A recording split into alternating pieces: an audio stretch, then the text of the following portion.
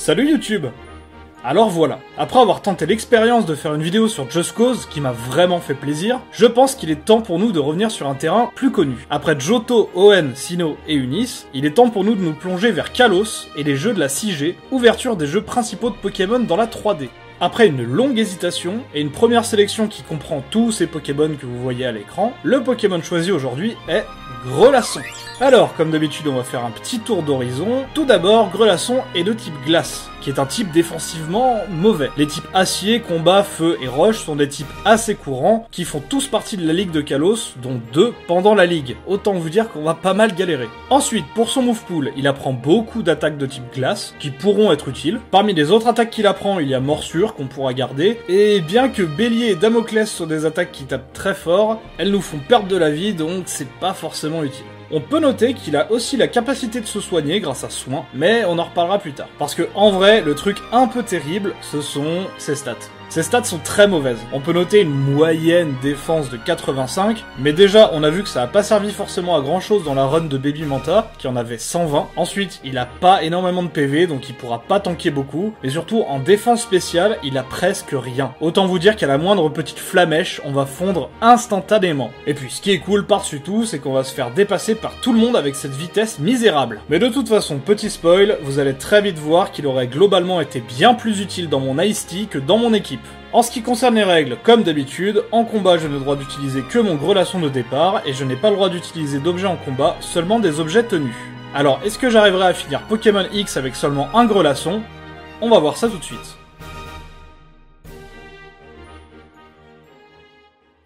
On commence notre histoire dans l'univers trop ouf du futur de la 3D en nous faisant bolos par un vieux passe rouge qui vient nous défoncer notre grasse matinée. Après s'être préparé pour l'aventure, on sort de chez nous et on rencontre Sana et Serena qui seront nos principales rivales pendant l'aventure. Elles nous annoncent que le professeur de la région veut nous offrir un Pokémon et qu'il faut qu'on les rejoigne à la ville suivante. Donc on part sur la route la plus compliquée à traverser, tout Pokémon confondu, et on arrive à Quarelis, où on retrouve nos nouveaux copains. Il y a la rivale de base, la loli de la génération, le danseur et l'intello. Ils veulent tous que je choisisse un surnom. Et après avoir hésité grandement à choisir Dieu comme nom, je décide de faire plaisir à Sana et de me faire appeler Petit V. Après avoir choisi mon super grelasson, que j'ai décidé d'appeler Titanic après un grand moment de réflexion intense, je commence à partir chez moi pour prévenir ma mère que je me casse faire un long voyage, et Sana nous aggro pour tester son nouveau Pokémon. Ça tombe très bien, je voulais aussi tester le mien. Après deux attaques écumes qui me mettent bien dans le mal et le fait qu'elle attaque avant moi, je m'attends à mourir largement à ce moment-là. Mais elle a décidé de taper un petit écrafas sur la fin, ce qui m'a permis de tenir à 2 PV et de contre-attaquer avec une dernière morsure qui a pu finir le grenousse. Sacrément sympa la Sana. Donc je fais un aller-retour à la maison, je traverse Quarelis et je retrouve tous mes copains pour traverser la forêt de Nevarto. Je me fais un peu marave et empoisonner par tous les Pokémon du coin, mais heureusement j'ai mon centre Pokémon portatif portant le doux nom de Sana et qui me lâche pas et me soigne mes Pokémon gratos. Sacrément sympa la Sana. Comme moi, faites confiance au leader mondial. Appelez Sana. En arrivant à Nevarto, je passe à l'arène pour tester Titanic et je me suis aperçu d'un truc un petit peu trop tard. Mon level est beaucoup trop bas et j'aurais dû rester XP dans la forêt avec Sana quand j'en avais l'occasion. Donc allez, on est déjà parti pour s'acheter des vêtements.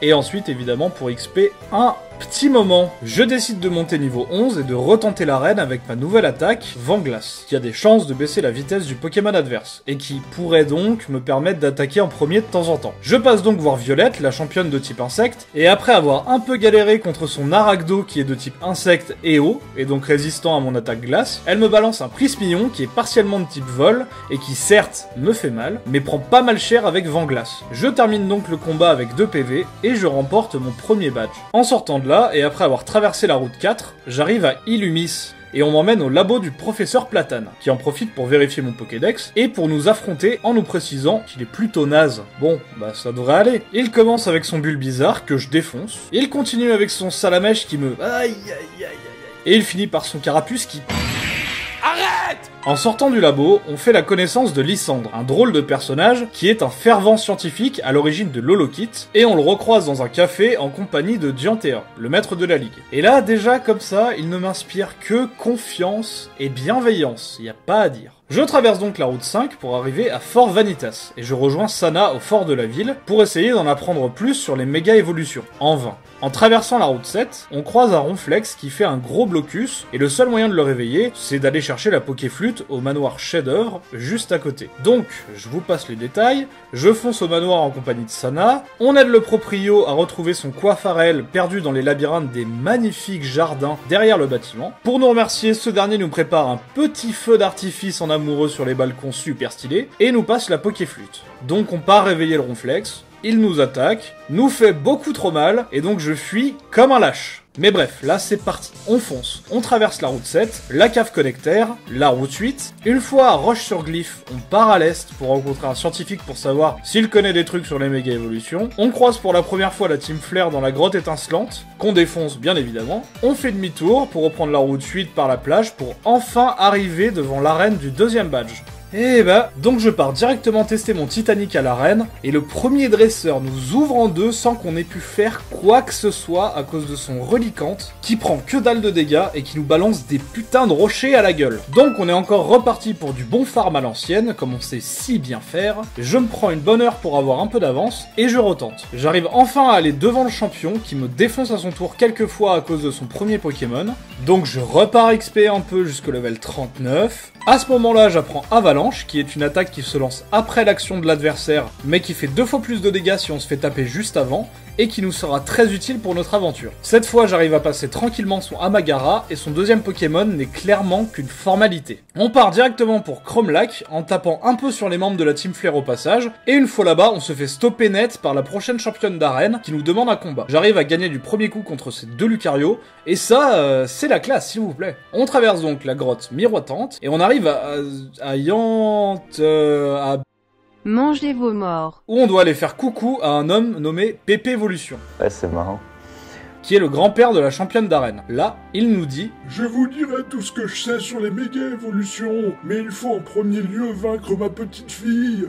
Euh, je suis vieux. Entre-temps, notre rival nous attaque et ne me respecte pas du tout. Ces Pokémon me renvoient d'où je viens directement. Donc évidemment, je repars XP et je reviens à level 42. Pendant le combat, j'apprends Blizzard qui nous sera bien utile pour la suite de l'aventure et après 4 essais, j'arrive enfin à finir le combat. Je pars ensuite taper sur la championne d'arène qui me tue une fois, mais je prends ma revanche directement derrière et j'ai eu plus de chance cette fois-ci. En plus, euh, elle avait pas de Lucario donc c'était plutôt cool comme combat. Je monte donc en haut de la tour qui est une représentation du mont Saint-Michel. N'hésitez pas à mettre Team Bretagne ou Team Normandie en commentaire, c'est pour l'algorithme YouTube, hein, euh, vous inquiétez pas. On fait un combat très court de Mega Lucario avec la championne, ce qui est en gros le seul moment de plaisir de toute cette vidéo. Et malheureusement, euh, on laisse notre Lucario en haut de la tour, parce que bah euh, désolé, mais euh, on va pas avoir besoin de toi, vieux. A plus.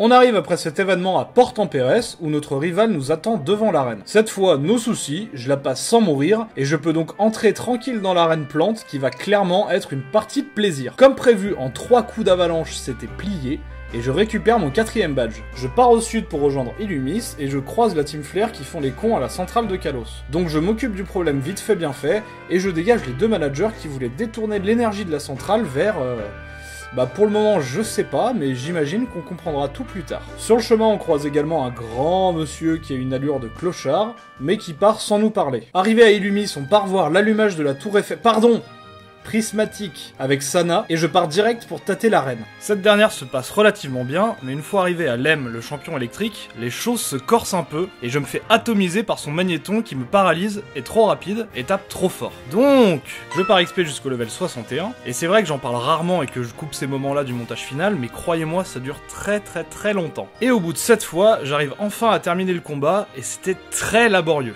Je sors donc de l'arène, je passe voir le professeur et Lysandre au café de ce dernier, et je me dis que quand même, ce Lysandre, il a vraiment l'air sympa. Je pense vraiment qu'il est gentil. Je me demande vraiment quel est son rôle dans l'histoire. Je rejoins donc mes copains sur la route de Romans-sur-Bois, où je me fais encore aggro par ma rivale qui arrive à me buter 4 fois avant d'enfin me laisser gagner un peu. Après un petit tour des marais et une escapade dans une maison hantée, on arrive à Romans-sous-Bois, qui contient l'arène de type fée et une usine de Pokéball. Donc je pars déjà me faire l'arène pour me débarrasser de cette corvée, et je me fais battre 13 fois. Soit son Misdibule booste sa défense à mort et je lui fais 0 dégâts, soit son Infali me fait la blinde de dégâts sans que je puisse lui en faire. Donc je décide d'arrêter l'acharnement et d'XP un peu au marais pour revenir au level 68. Et même si j'arrive à mourir encore 3 fois contre son Infali, après un dernier combat long et chiant comme la mort, à coups de soins et d'attaques très peu efficaces, j'arrive enfin à avoir ce foutu badge. Ah oui, j'avais oublié de préciser, mais j'ai fait apprendre soin à Titanic à la ville d'avant qui permet de se soigner de 50% de sa vie max. On part avec nos potes à l'usine de Pokéball où il y a encore les débiles de la Team Flair qui font les cons. On apprend qu'ils veulent voler tout un stock de Pokéball pour attraper des Pokémon pour... Euh... Bah pour le moment je sais pas trop mais j'imagine qu'on comprendra tout plus tard. Donc on les vire vite fait bien fait et on récupère la Master Ball auprès du gérant de l'usine. Après cet événement et la traversée de la route 15, j'arrive à la Frescale où il n'y a pas grand chose à faire, mais j'en profite pour aller à la grotte gelée pour récupérer l'objet Glace éternelle, qui est un objet qui augmente la puissance des capacités glace de 20%. Je décide également d'aller sauver un Blizzardois qui allait se faire choper par la Team Flare. Au passage, je me fais attaquer par un simple karatéka et son Caraclé qui m'a défoncé, qui m'a renvoyé au dernier centre Pokémon où j'étais, c'est-à-dire à Romans sous bois. Donc, je traverse la route 15, la Frescale, j'arrive à la grotte gelée, je retraverse la grotte, j'esquive bien le karatéka cette fois-ci, et je me dirige droit vers un autre karatéka qui m'attaque avec son judo crack, qui me tue, et me fait revenir au dernier centre Pokémon où j'étais, c'est-à-dire à Romans-sous-Bois. Mais va te faire je pars ensuite faire une super rando à dos de Mamochon pour arriver à Flussel, où je me fais encore agresser par ma rivale qui me tue 8 fois avant de pouvoir enfin accéder à l'arène psy. Putain, elle commence sérieux à me les briser celle-là. Pour passer, évidemment, j'ai dû monter pas de 4, pas de 8, mais bien de 13 niveaux, ce qui a pris un temps monstrueux, vous avez pas idée bordel. Évidemment, vu mon niveau et vu que j'ai Morsure qui est une attaque super efficace contre le type psy, j'ai roulé sur toute l'arène sans le moindre problème. En sortant de là, on apprend quelque chose d'incroyable, Lysandre, c'est le grand méchant. Sans déconner On part donc pour Illumis pour confronter ce vil gredin, et il nous attend à l'entrée de son labo avec un Emelios qui nous grille avec déflagration. Soit il nous brûle, soit il nous one-shot. Un peu comme il veut. Et moi, j'arrive vraiment pas du tout à le passer. Au bout de 8 morts, je décide de...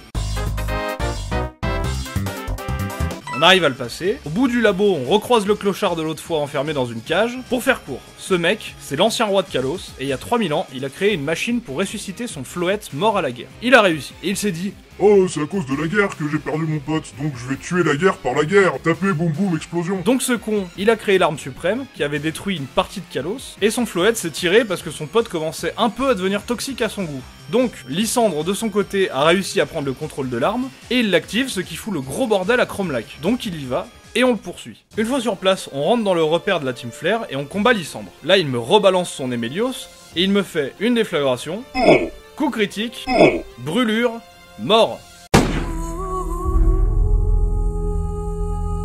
Mais bordel, je vais jamais réussir à passer un combat d'un seul coup sans me faire one shot. En vrai, j'ai tenté le combat une dizaine de fois au total avant d'enfin réussir. Après le combat, Lysandre me dit qu'il a utilisé Xerneas, le Pokémon légendaire symbolisant la vie, pour faire marcher l'arme, et que si je veux le sauver, bah, j'ai qu'à y aller moi-même. Donc avec Serena et Sana, on fonce dans la salle de l'arme, on libère Xerneas, et je veux le buter, mais comme dans mon challenge précédent, je peux pas, et donc je suis obligé de le capturer. Du coup, Master Ball, et là il y a Mécalissandre qui arrive pour nous combattre parce que apparemment il a que ça à foutre de sa vie, et il nous dit que pour l'empêcher d'utiliser l'arme, il faut le battre. Du coup, on se retape un combat avec le même Nemelios qui fait toujours chier avec sa déflagration, donc je le laisse nous tuer une fois pour pouvoir déposer Xerneas au PC, et je fais le chemin retour à travers tout le repère Flair, où je réussis à battre Lysandre en une seule fois, même si son méga Léviator était plutôt chiant à passer. Lysandre déclenche l'arme quand même, parce que c'est pas parce qu'il a plus de Pokémon qu'il peut pas appuyer sur un bouton, l'arme envoie un missile qui dévaste la Terre entière, et c'est la fin du jeu.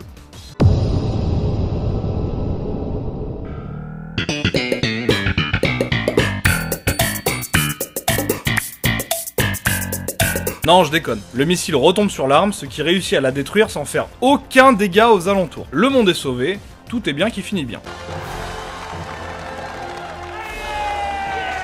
Donc, donc, donc, donc, donc, après ça, le prof nous appelle pour nous dire de nous rendre à Moseim. Une fois là-bas, rien de bien intéressant, ce dernier nous combat et cette fois il ravale bien ses dents. Et à la sortie de la ville, on se fait gangbang par tous nos potes à la suite, qu'on arrive au final à bien gérer. En arrivant à Ofrak les Congères, on nous apprend que le champion n'est pas dispo actuellement. Donc on part le chercher au village Pokémon derrière la forêt, et on le ramène pour pouvoir le tester un peu. Je ne rencontre pas de problème particulier pendant le combat jusqu'à son Seracrawl qui a Gyroball, attaque acier qui me défonce, et Malédiction qui est une attaque qui augmente son attaque et sa défense, et qui à terme fait que je ne lui fais plus rien et qu'il me défonce ensuite en 2-3 coups. Donc on est parti pour Rush sur Glyph pour récupérer une écaille cœur pour pouvoir réapprendre l'attaque malédiction à Titanic. Ensuite, je retente l'arène, on fait une grosse battle de malédiction avec son Seracrawl et je gagne enfin après un long combat grâce à un coup critique bien évidemment.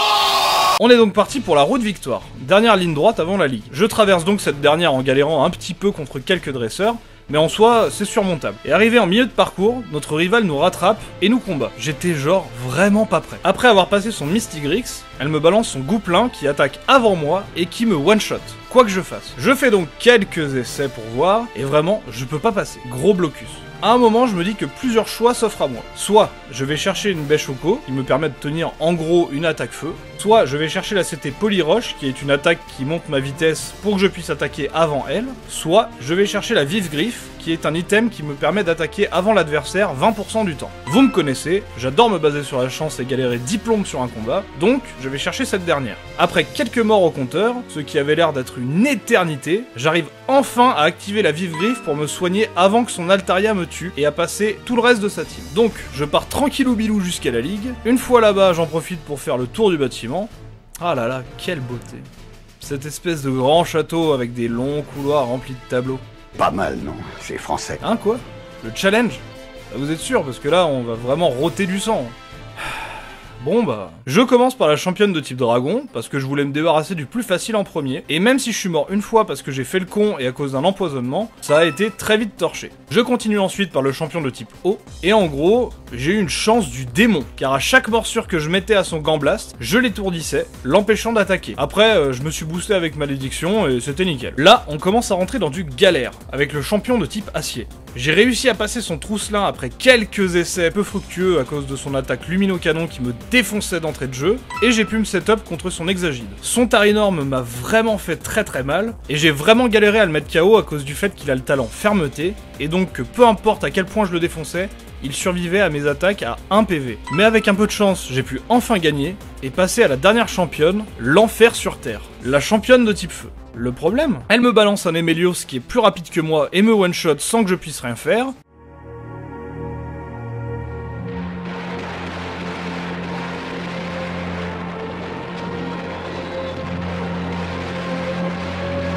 Et comparé au Gouplin de tout à l'heure, si j'arrive à la toucher avant grâce à la vive griffe, je ne le mets pas KO directement. Autant vous dire que j'ai pas fait long feu la première fois. Et donc là, je suis parti pour une série de morts défiant mes espérances les plus folles. J'ai même failli abandonner et ne jamais sortir cette vidéo. Et le problème, c'est que si jamais j'arrivais avec un gros coup de bol à passer son Emelios, j'arrivais à me booster à coup de malédiction après, y a pas de souci, mais son Lugulabre aussi me one-shot derrière et est plus rapide que moi. Donc, après un nombre inimaginable de morts, la vive griffe s'est activée en fin de partie et j'ai pu one-shot son Lugulabre avec une morsure. Ah, je peux vous dire qu'elle n'y a vu que du feu. hein.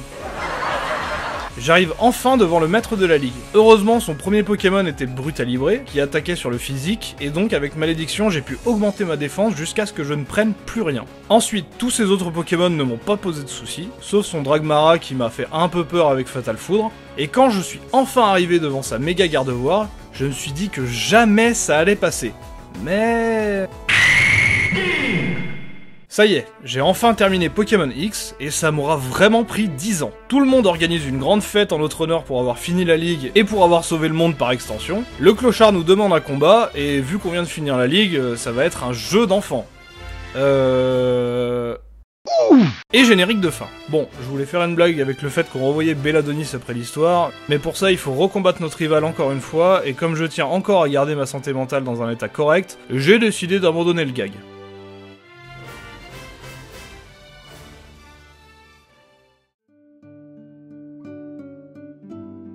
Ça m'a vraiment fait plaisir de revenir sur la sixième génération car ça fait vraiment longtemps que je l'avais pas faite et c'est la génération qui m'a renoué avec Pokémon après mon passage à vide pendant la 5G. Par contre je m'attendais pas du tout à avoir une difficulté aussi élevée avec Grelasson. J'ai vraiment été à deux doigts d'abandonner cette vidéo plusieurs fois. Mais je suis vraiment content d'avoir réussi ce challenge. Pour la prochaine vidéo, j'essaierai de me faire un truc un peu plus tranquille, probablement sur une version moins récente, on verra bien sur quoi je me lance. Comme d'habitude, si la vidéo vous a plu, je ne peux que vous inviter à la liker et à vous abonner à la chaîne si vous voulez suivre les prochaines. Quant à moi, je vous dis à la prochaine, et n'oubliez pas, Bon, bah, il était temps que ça se termine. Ça fond vite, la glace. Bien, Ramène-nous des glaçons.